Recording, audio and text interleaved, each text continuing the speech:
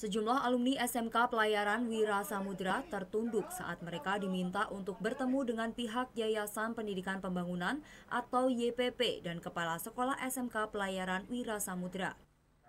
Pasalnya, mereka merupakan taruna SMK Wira Samudra yang dahulu mendemo sekolah mereka tersebut. Mereka demo dan menuntut sekolah mereka dengan beberapa tuntutan. Namun ternyata apa yang mereka lakukan adalah salah karena demo itu merupakan provokasi dari pihak-pihak yang ingin menguasai SMK Wira Samudra dengan cara yang licik dan memfitnah pihak YPP serta kepala sekolah. Bendahara YPP Sugiarto yang ikut menemui para alumni meminta agar mereka yang dulu menjelek-jelekan sekolah mereka kini harus meluruskan berita-berita yang salah sehingga nama baik sekolah akan kembali bersih.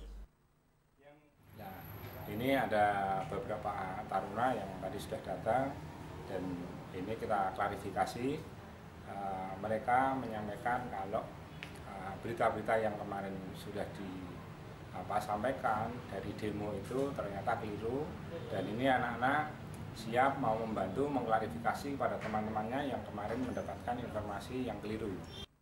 Sementara itu, Abidin, salah satu alumni yang dulu ikut demo, menyampaikan penyesalannya dan dia berjanji akan membantu memajukan mantan sekolahnya tersebut.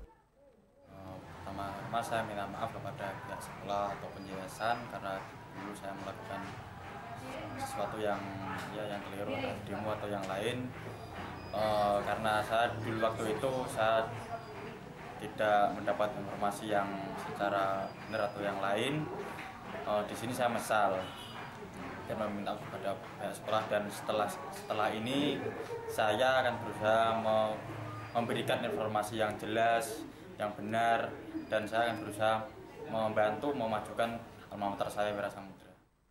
Pihak yayasan dan staf SMK Pelayaran Wira Samudra berjanji tidak akan menyulitkan para alumni saat mereka mengurus berkas yang sangat diperlukan untuk melanjutkan kerja dan studi mereka.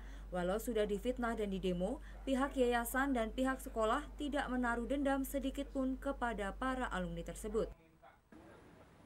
Nugroho Setiabudi melaporkan.